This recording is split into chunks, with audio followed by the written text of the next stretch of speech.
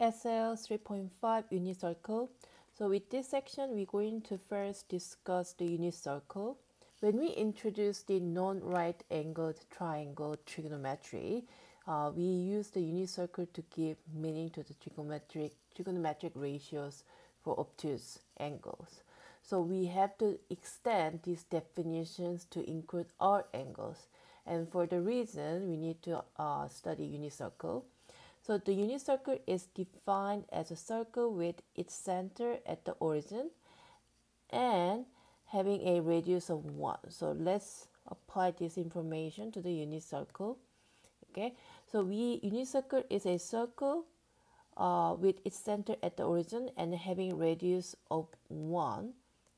So we have a radius here and its uh, measurement is 1 and means uh, we can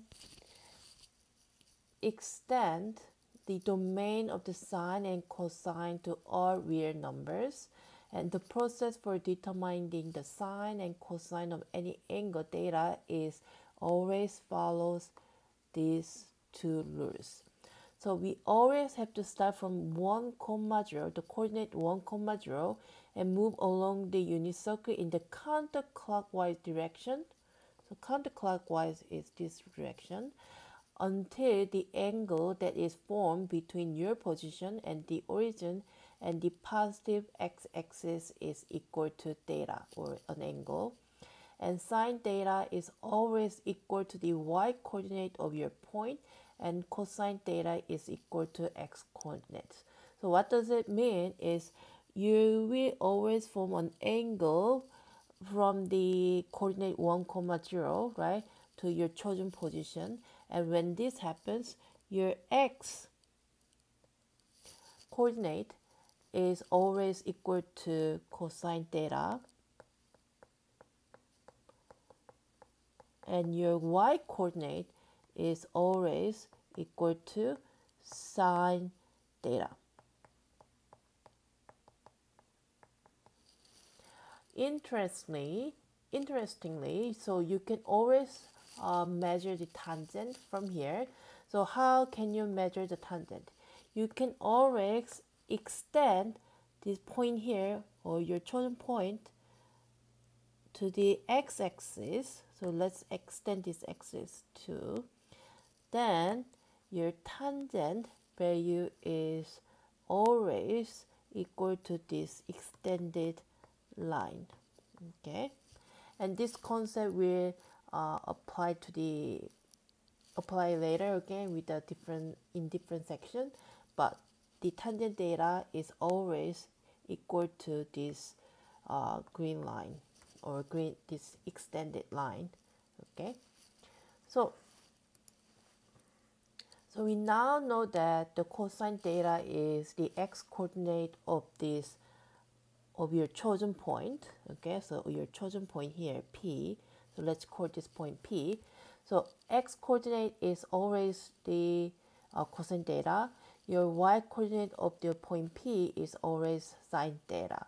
Okay, and also we know that this is part of the unit circle. Means your values are always either 1 comma 0, 0 comma 1, negative 1, negative 1 comma 0 or 0 comma negative 1. That means from these points on the unit circle, we know that the x value is always between native negative 1 and 1 and your y value is always between native negative 1 and 1 okay and we know that the unit circle equation is always x squared plus y squared equals 1. So we can conclude that we can therefore conclude that for any angle for any angle theta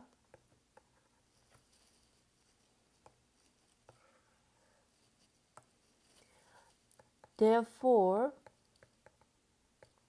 we can conclude that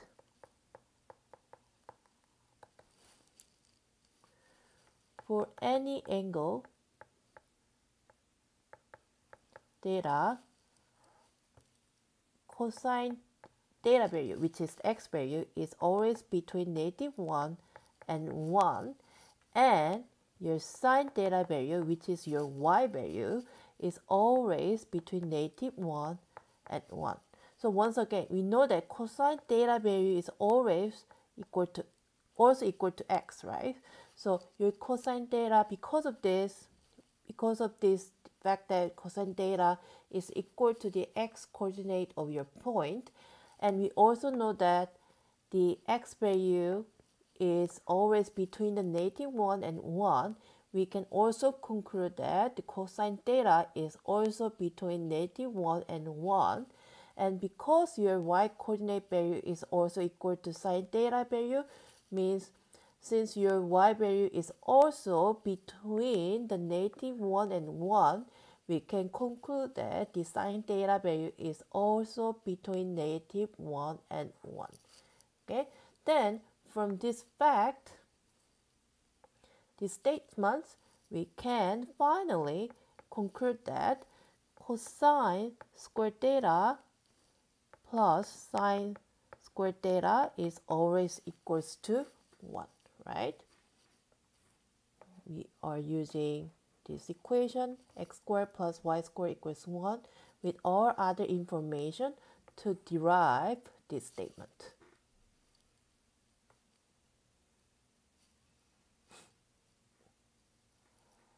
Okay, then let's talk about this tangent theta. We have just have discussed that uh, when we have a unit circle, so I'm just going to draw the, the first quadrant of the unit circle at here. Okay, so let's say we have just unit circle and it is on the first quadrant and we have a point P and let's identify an angle okay? So we have angle theta okay? So when this happens we know that this part is equal to cosine theta. Uh, we know that this part is equal to sine theta okay? That means if we extend let's extend this x value or x-axis and draw another line from point P x-axis like this, then we can say that uh, the, this line here is also equal to tangent, tangent theta value. Okay, or we can also say that um, a line that extend from the 1 comma 0 value and say we there's a line that extends from this 1 comma 0 value and another line that is extended from the P like this. When this happens okay uh, we can also say that this line here is also equal to tangent theta okay? So uh, since this is a bit confusing let's put the, some uh, letters in Okay, so I'm going to call this point here A, point A, and I'm going to call this point here point Q. Okay, and we know that this point here is origin, so it's O. Okay, so let's say the the line OP, I'm going to say we know that this is P, right? So if let's say we extended the line OP just like here, I'm extend I we already extended it, right? So we have extended line OP to the point Q. Okay, then we can let the intersection between these lines be like Q Q. So we already say that. And then uh, when point moves, so does the Q, right?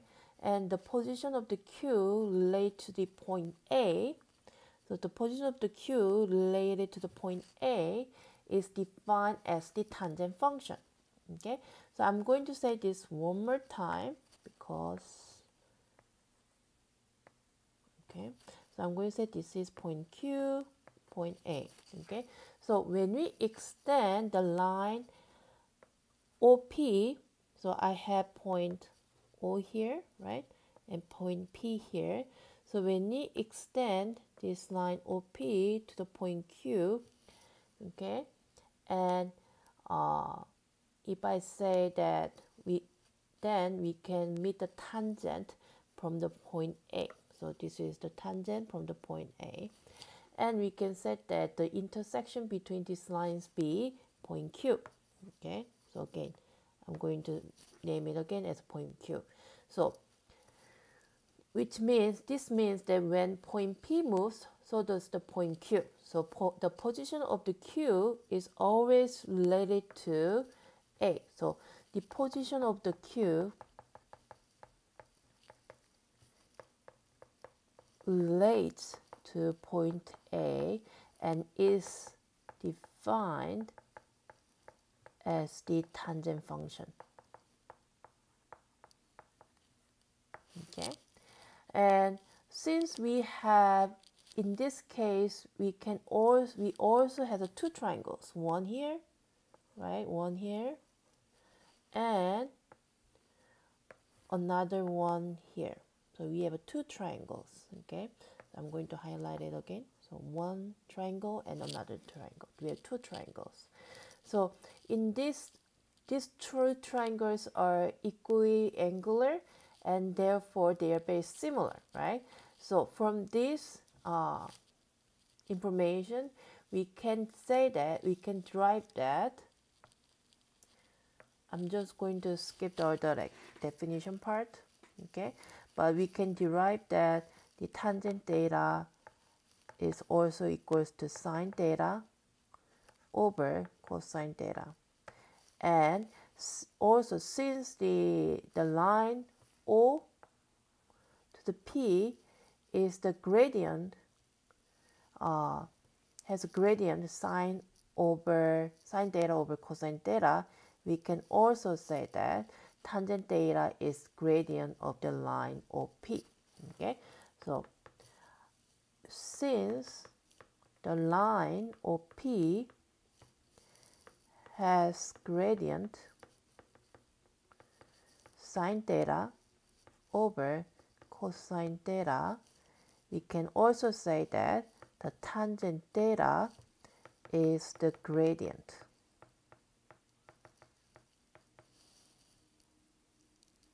Okay, of the line OP. So remember this part. Okay, tangent theta is also gradient of the line OP or the, the hypotenuse of the triangle that is formed inside of the unit circle. Okay, now then let's talk about the unit circle itself. Okay, so we actually need to know how to calculate the sine and cosine values that are related to the unit circle. However, for now, what we need to do is we need to try to remember the sine and cosine for angles 30 degree, 45 degree, and 60 degree. Okay, so here I have a 30 degree, 45 degree, and 60 degree. So what you need to do is you first, yes, like it's pain to have a have to remember all these things. However, you must remember for the angles 30 degree, 45 degree, and 60 degree, and it will make life easier when you know them. Not just in exam, but other times when you need to do quick estimates of these uh, different values. Okay, so uh, this is the first quadrant, right? So we have a first quadrant here.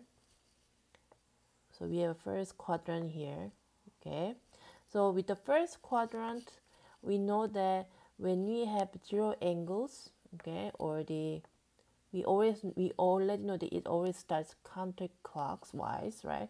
So when we have a zero degree, we have coordinate one comma zero, right? Because unit circle the maximum x values that you can have is 1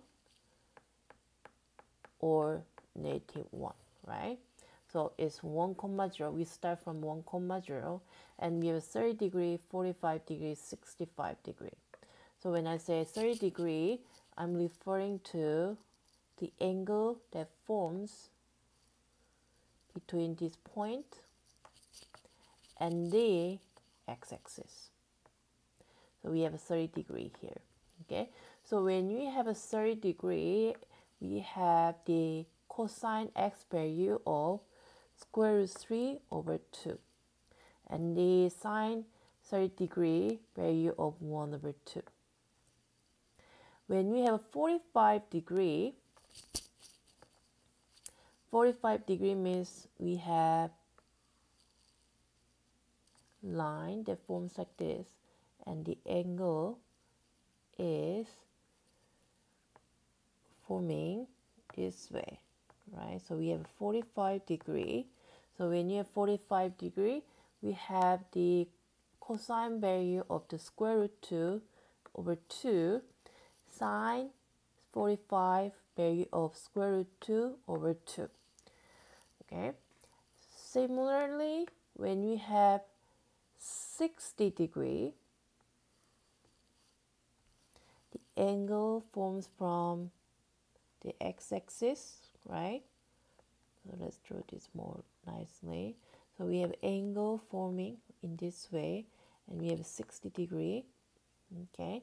And when this happens we have the cosine 60 value of 1 over 2 and square root 3 over 2 okay? And just side story but 30 degree in radian is pi over 6 right?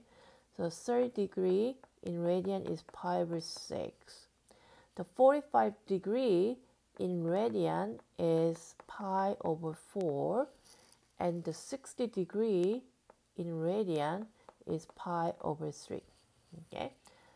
And we know that uh, this value here is actually the 90 degree angle right? So we have a 90 degree angle okay? So we have 90 degree angle means uh, its x value I mean it's uh, like actually we are referring to the y value.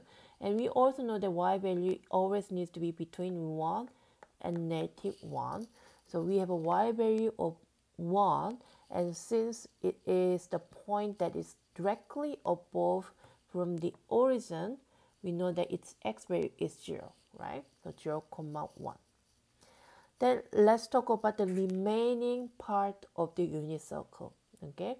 So still we are measuring the angle for counterclockwise. However we do know that uh,